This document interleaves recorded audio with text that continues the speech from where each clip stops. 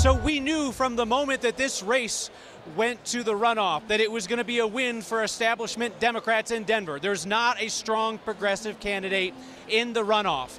So that left progressive hopes hinging on a couple of city council campaigns in which the Democratic Socialists of America Denver chapter, they have their champion on council, Candi CdeBaca And there is no one in Colorado politics that Republicans and establishment Democrats want to take out of office more than Candi CdeBaca because what a lightning rod she is for various leftist causes. And as it stands now, she faces an enormous gap in her race against Darrell Watson in the newly drawn District 9. A 36 point deficit earlier tonight is now 33 points.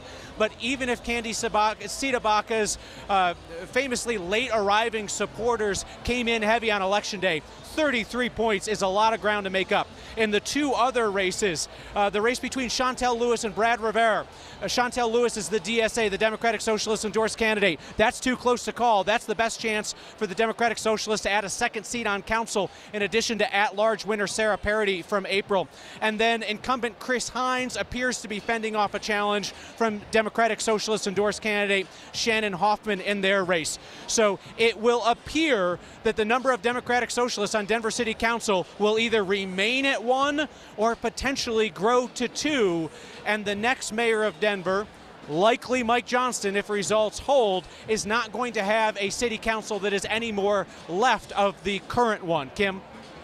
Well, it's going to be interesting to see how this shakes out. I think there's a little bit of a, surprise when you look at the council and not necessarily what some of the polling has told us with the mayor's race. But of course, we want to hear from both of them. We want to hear from Kelly Brough and Mike Johnston soon, hopefully.